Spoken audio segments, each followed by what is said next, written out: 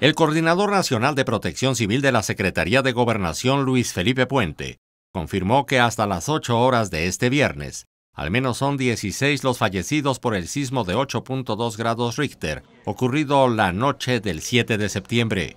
Confirmó que hasta las 8 horas de este viernes, al menos son 16 los fallecidos por el sismo de 8.2 grados Richter, ocurrido la noche del 7 de septiembre. El funcionario precisó que 10 personas perdieron la vida en la zona del Istmo de Tehuantepec en Oaxaca. Tres personas murieron en Chiapas y dos menores de edad en Tabasco.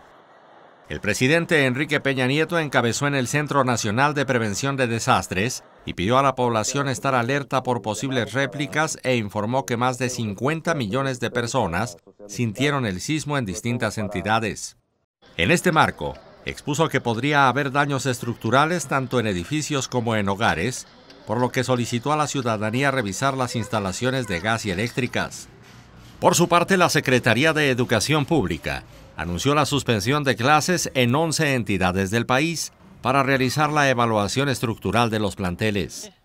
Mediante su cuenta en Twitter, el titular de la Secretaría de Educación Pública, Aurelio Nuño, indicó que las clases se suspendieron en la Ciudad de México, Chiapas, Estado de México, Guerrero, Hidalgo, Morelos, Oaxaca, Puebla, Tabasco, Tlaxcala y Veracruz.